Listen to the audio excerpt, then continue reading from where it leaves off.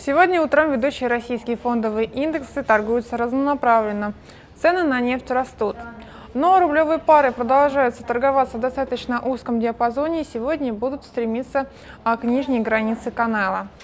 Наши цели на сегодня по паре доллар-рубль а, 67, по паре евро-рубль 76.